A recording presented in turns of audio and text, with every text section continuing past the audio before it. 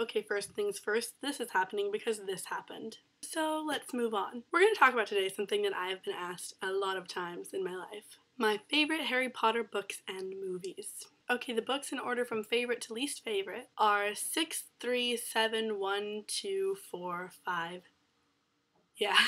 and movies in order from favorite to least favorite so far. Six, two, one, four, three, five. You may notice a trend. Five is always at the bottom. Let me explain this quickly before I move on to the explanations of everything else. Order of the Phoenix is my least favorite Harry Potter book and movie. Whenever I say this, people are like, oh my god, you dislike one of the Harry Potter books and movies? And then I'm like, I didn't say that. Phoenix was too long, not enough happened, it was slow, and Harry whined the whole time. And I pretty much dislike Order of the Phoenix, the movie, for the same reasons. Saying that Order of the Phoenix is my least favorite book just means that it's my seventh favorite book out of all of the books in the world. See, yeah, I, I like Harry Potter. So my absolute favorite Harry Potter book is Half-Blood Prince.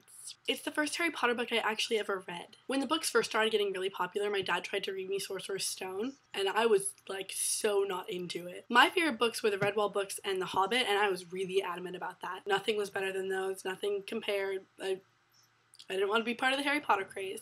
I was wrong. You know, kids make mistakes. When I got older, I always enjoyed the Harry Potter movies. And then when I heard the last book was coming out, I was like, oh shit, I need to find out what happens to Harry Potter, oh my god. And then I realized that I had seen the fifth movie, so I knew what happened, like, basically, books one through five. But I needed to read Half-Blood Prince in order to understand Deathly Hallows. I read it the following weekend and basically was mind-fucked. Never Seriously, never had I enjoyed a book so much. You can tell by the spine it was well loved. That one I think mostly because of nostalgia will always be my favorite. It's also so funny and there's so much character development in that one. I feel like in that one especially all the characters move past being like their token roles. My favorite movie was also Half-Blood Prince, mostly for the same reason. I just thought it was hilarious and they did an excellent job. I'm not the biggest fan of David Yates, but I mean, it was a good movie. My biggest problem with David Yates is that he makes everything low energy, I feel. All of the energy is put into like sadness or an action scene and that's not what Harry Potter is. The message of Harry Potter is love and love conquers all